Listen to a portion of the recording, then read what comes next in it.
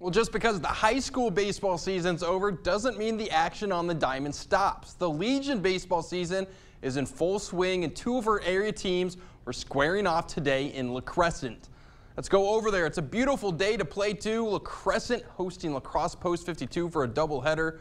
La Crescent down one in the first, but base is full for Kale Baker, and he's going to clear them. Baker lines it into left field, and it can't be handled cleanly. All three runs score. La Crescent takes a 4-1 lead, but Post 52 responds in the second. Lucas Eilston is going to find the gap in left center field, and that's trouble. Tyler Young comes in to score. La Crosse within a run. It's 4-3.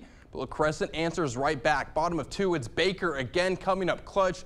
RBI single makes it 6 to 3. La Crescent takes game one by a final of 10 to 8.